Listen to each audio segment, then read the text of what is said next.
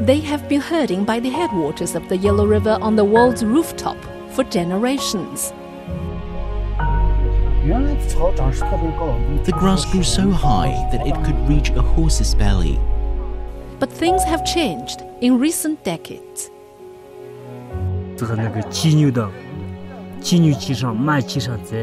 My grassland can no longer fill the stomachs of my yaks and sheep.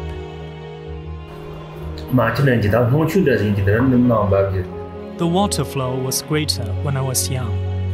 Follow us to Yoigilangleb Qu, one of the headwaters of the Yellow River, to see how climate change is affecting the lives of herdsmen.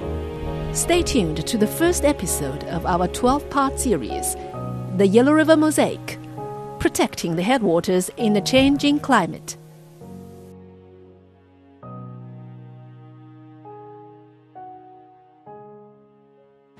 This is CGTN Radio. Hear the difference.